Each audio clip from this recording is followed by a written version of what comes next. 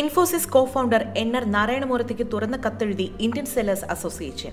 Amazon Cloudtail India partnership Narayanamurthy അവസാനിപ്പിക്കണമെന്ന ആവശ്യം. നാരായണമൂർത്തിയുടെ കാറ്റമറൻ ventures Amazon ഇവയുടെ സംയുക്ത സംരംഭമാണ് ക്ലൗഡ് ടെയിൽ ഇന്ത്യ.